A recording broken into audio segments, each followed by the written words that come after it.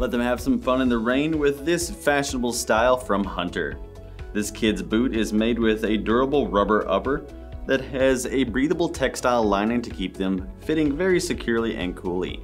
There is a foam footbed down there in the bottom to add some extra support and sits on top of this vulcanized rubber outsole that has lots of wavy grip and flexibility.